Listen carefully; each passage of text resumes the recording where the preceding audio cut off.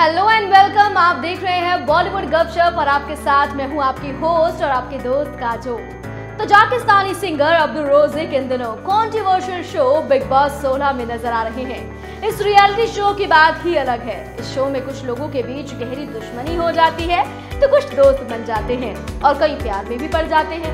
19 साल के अब्दुल रोजिक का भी यही हाल हो गया है। वो भी बिग बॉस हाउस में प्यार में बेचारे पड़ चुके हैं। उनकी क्रश कोई और नहीं, निमृत कौर अहलुवालिया है। निमृत कौर शुरू से ही अब्दुल रोजी की क्रश रही है। पहले वो निर्मित को पसंद करते थे, लेकिन अब लगता है कि वो बिल्कुल ही प्यार में पड़ गए हैं, दीवाने हो गए हैं। कई बार अब्दुल रोजी को निमृत के लिए इनसिक्योर होते देखा गया। जब भी शिव ठाकरे या कोई और निमृत कौर से दोस्ती बढ़ाता है तो तीन फुट के अब्दुल को जलन महसूस होती है। अब उन्होंने अपने दिल की बात भी कह डाली है। हालिया एपिसोड में अब्दुल रोजिक ने शिव ठाकरे के साथ बातचीत में खुलासा किया कि वो निमृत कौर को प्रपोज करने वाले हैं। हालाँकि वो बिग बॉस हाउस में अपने दिल की बात नहीं करेंगे। जैसे ही वो बिग बॉस से बाहर जाएँगे, निमृत कौर को अपना दिल का हाल सुना बैठेंगे। अगर वो हाँ बोलती है तो ठीक, अगर नहीं बोलती तो भी उन्हें कोई प्रॉब्लम नहीं है। यानी कि वो एडजस्ट करने के लिए तैयार है। अब तो ये भी कहते हैं कि वो वाकई निमृत से प्यार करते हैं। वो दिल से प्यार करते हैं कैमरा के लिए कुछ नहीं कर रहे। वो दिल से निमृत को चाहते हैं।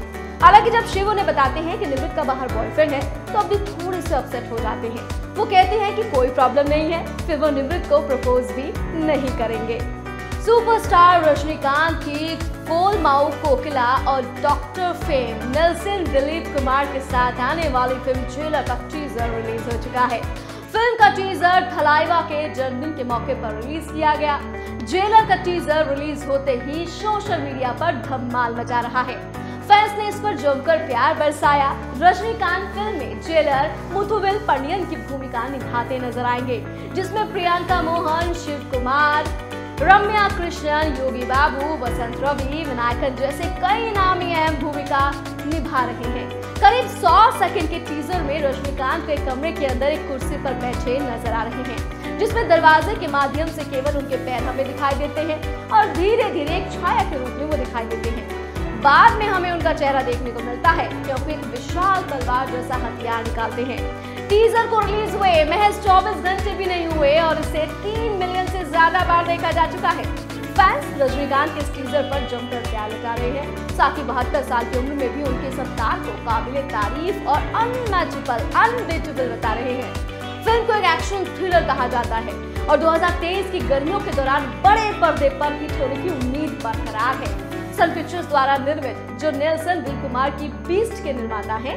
इस फ़िल्म का निर्देशन नेल्सन दिल कुमार द्वारा किया जा रहा है, जिसमें अनिरुद्ध का संगीत है। यानी कि थलाइवा की फ़िल्म के लिए अभी से ही फैंस इंतज़ार कर रहे हैं, क्योंकि इतना ज़्यादा प्यार जो टीजर पर लुटाया है। कुछ दिनों पहले एक अनवेरिफाइड ट्वीट में दावा किया गया था कि फ़िल्म किसी का भाई किसी की जान के सेट पर सलमान खान को प्यार हो गया है। सलमान खान को प्यार पहली बार नहीं हुआ है। सलमान खान को प्यार कितनी बार हो चुका है? दरअसल इस बार कोई और नहीं, पूजा हेगड़े से उन्हें इश्क हो गया था। ये ट्वीट सोशल मीडिया पर काफ़ी वायरल हो गया था। वही इस ह्यूमर पर सलमान के एक दोस्त ने रिएक्ट कर डाला है। सलमान के दोस्त ने कहा, वो लोग जो भी ऐसी वाहियात खबर फैलाते हैं, कुछ तो शर्म करो। वो लड़की वो लड़की सलमान की बेटी की उम्र है। सिर्फ़ इसलिए कि वो एक साथ एक फ़िल्म कर रहे हैं। कुछ बेवकूफ़ों को लगता है कि फ़िल्म के लिए अच्छा प्रमोशन है, लेकिन ये शर्मनाक है। दोस्त आगे कहते हैं कि सलमान खान ऐसी अफवाहों की परवाह नहीं करते। वो तो दबंगई के साथ जीते हैं। बता दें कि पिछले हफ़्ते सेल्फ क्लेम्ड क्रिटिक और संधू ने अपने ट्विटर अकाउंट पर इस रूमर को पोस्ट किया था कि सलमान और पूजा हेगड़े टिंसल टाउन के न्यू कपल हैं। उन्होंने ट्वीट किया कि ब्रेकिंग न्यूज़ टाउन में नया जोड़ा। Mega star hashtag Salman Khan को हैशटैग पूजा हेगड़े से प्यार हो गया है, इश्क हो गया है। उनके प्रोडक्शन हाउस ने भी उन्हें अगली दो फ़िल्मों के लिए साइन किया है। वे आजकल एक साथ सफ़र बिता रहे हैं और चुप चुप कर मिल रहे हैं। सलमान खान के करीब सूत्रों ने इसकी हालाँकि कुछ यूज़र्स ने उम्र के सूत्रों पर भी सवाल खड़े कर दिए। इन सब के बीच बता दें कि सलमान खान की मोस्ट अवेटेड फ़िल्म किसी का भाई और किसी की जान को फरहाद सामजी डायरेक्ट कर रहे हैं। इस फ़िल्म में टीवी एक्ट्रेस श्वेता तिवारी की बेटी पलक तिवारी बिग बॉस तेरा फ़िल्म शहनाज कौर गिल जैसे कुछ नए चेहरे नज़र आने वाले हैं। बॉलीवुड एक्ट्रेस साथिया शेट्टी और इंडियन क्रिकेटर के राहुल का रिलेशन किसी से छिपा नहीं है। लेकिन अब उनकी शादी की डेट भी सामने आ रही है। मीडिया रिपोर्ट्स की माने तो कहा जा रहा है कि दोनों की जल्द शादी होने वाली है। इसके साथ ही दोनों की शादी की डेट्स भी सामने आ चुकी है। के राहुल के करीबी ने पंखमला को बताया कि अथिया और के राहुल जनवरी 2023 में शादी करेंगे। दोनों के वेडिंग फ़ंक्शंस 21 से 23 जनवरी के बीच होंगे। यानी शादी में कुछ ही दिन बचे हैं, ऐसे में दोनों बहुत बिज़ी हैं। इसलिए दोनों की फैमिलीज़ में जोरों से तैयारियाँ चल रही हैं। कुछ और खबरों की माने तो दोनों की शादी साउथ इंडियन रीति रिवाज से होने वाली है। इसमें हल्दी, मेहंदी, संगीत समेत कई अन्य रस्में होंगी। लेकिन इसमें सिर्फ़ करीबी दोस्त और परिवार के ही लोग शामिल होंगे। कपल्स की शादी का इन्विटेशन दिसंबर के आखिरी दिनों में दे दिया जाएगा। अब इस गुड न्यूज़ को सुनने के बाद कपल के फैंस काफ़ी खुश हैं और सोशल मीडिया के ज़रिए फैंस को बधाई भी दे रहे हैं। ने कुछ दिन पहले एक इंटरव्यू के दौरान पूछा था कि के राहुल और अथिया की शादी कब होगी? तो इसके जवाब में उन्होंने कहा था कि जल्द होगी। सुनील के जवाब से फैंस को लग रहा था कि दोनों जल्द शादी करने वाले हैं और अब मुहर लग चुकी है कि राहुल और अतिया की शादी 2023 में बड़ी धूमधाम के साथ होने जा रही है।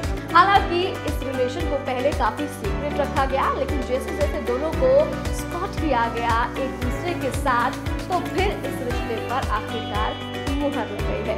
तो ऐसे ही बॉलीवुड की और टीवी एक्ट्रेस की चटपटी खबरों के लिए और उनके लाइफस्टाइल को जानने के लिए, उसकी पर्सनल लाइफ को जानने के लिए आप देख रहे हैं बॉलीवुड